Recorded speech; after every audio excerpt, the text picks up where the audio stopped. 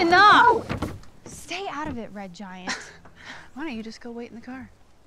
Okay, yeah, I bet you'd love it if I wasn't here, Would you? Shut up, Ashley.